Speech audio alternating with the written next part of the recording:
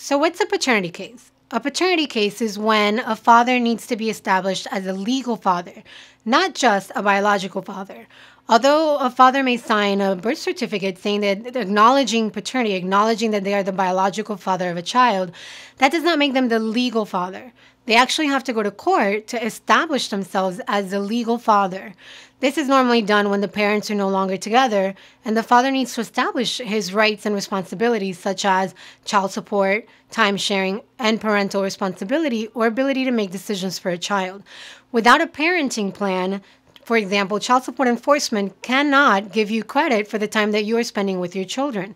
You have to have a paternity case and establish yourself as the legal father and establish what the time sharing is going to be through a parenting plan in order to get credit for the time that you're spending with your child in order to have the child support being properly calculated. In the state of Florida, if you're not the legal father, that means that you are what's called a putative father. So you actually need to go to court to establish yourself. And that is what a paternity case can do.